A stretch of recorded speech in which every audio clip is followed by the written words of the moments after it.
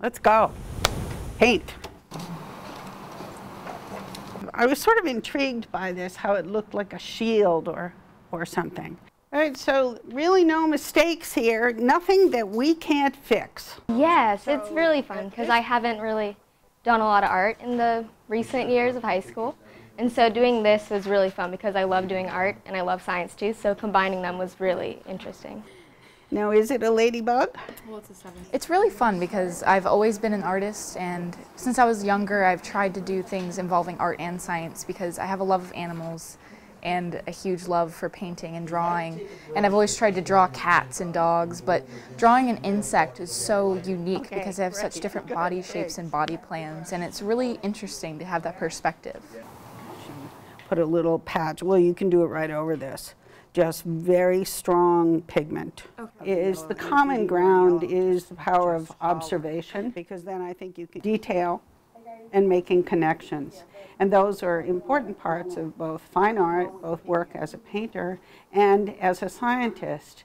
And I believe that students will learn a lot more of the details of their particular beetles by looking at them as an object to paint.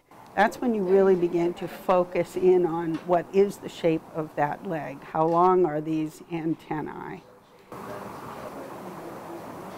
It is. It, it, it gives me a deeper appreciation for the zoology I'm learning, and I'm able to better understand what the beetle's like features mean to its um, niche.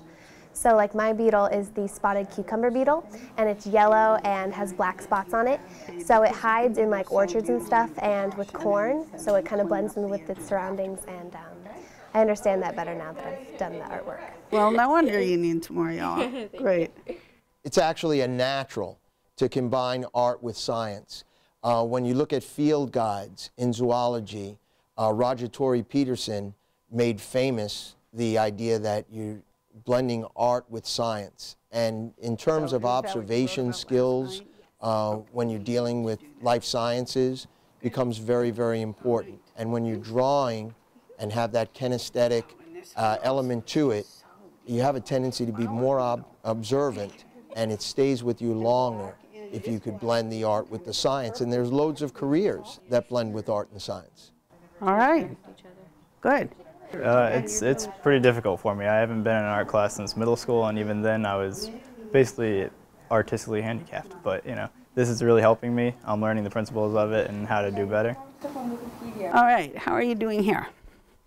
Oh, I love it. She's showing me different techniques because my beetle is very shiny. It looks like a jewel.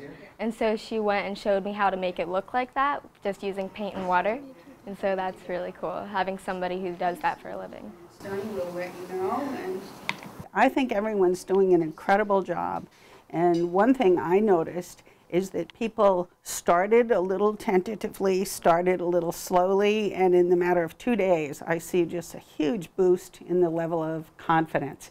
So I think we have some artists in the making in here. Ooh, it glows. I've always gained a lot from learning from an artist and having teachers, and it was very unique and exciting to have someone teach me how to make those shapes and to make those colors and those highlights and those depths and everything like that. Everything else is done. Yeah, definitely. Like in our notes, we do uh, drawings, and that helps you remember uh, the actual terms better. So it just brings me a deeper understanding. So it's definitely helpful. Um, as a s- in a science class, you don't get the opportunity to have a professional artist come in and teach you about the aspects of art and connect it to science. In a sense, species, as it is a reproductively isolated population, they're all different. That's just in the name, and in a sense, art allows you to differentiate that and then This pick out the points beetle. that really differentiate the species. Yes. We're, we're hoping that it's not only fun for them, but we wanted them to get an appreciation for biodiversity.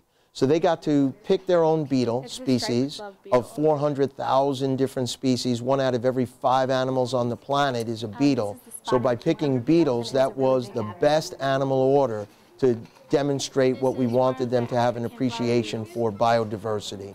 And they're seeing in the anatomy what these animals are adapted for for different niches and I think getting a deep appreciation for biodiversity. Taurus, Luca Crescent. It has green right here, followed by mostly red, a little bit of light pink. Uh, this is the Hercules beetle.